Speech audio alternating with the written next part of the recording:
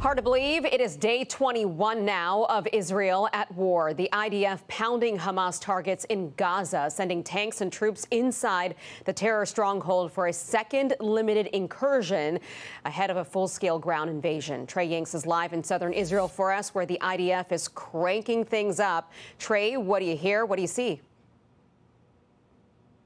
Yeah, Aisha, good morning. Absolutely. The Israeli Air Force has been pounding the northern part of the Gaza Strip today.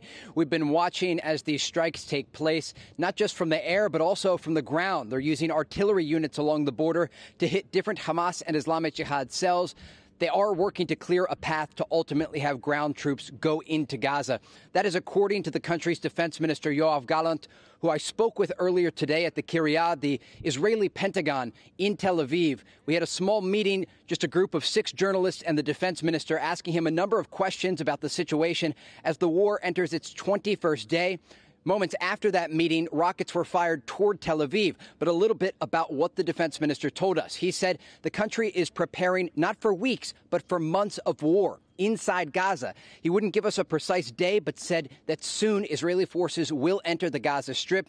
He talked a little bit about the lead up to this and said he did not believe Iran directly ordered the massacre on October 7th, but indicated they have trained and supplied funds to Hamas and Islamic Jihad for years. I do want to switch gears here and talk about eastern Syria.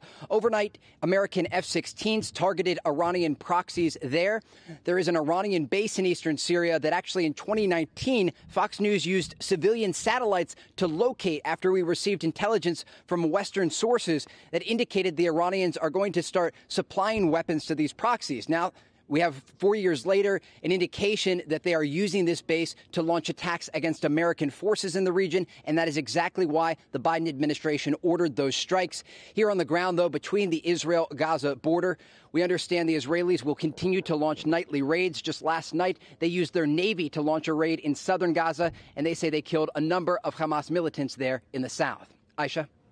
And Trey, we await to see if Iran moves next, if they do, and what they do next. Thank you, Trey.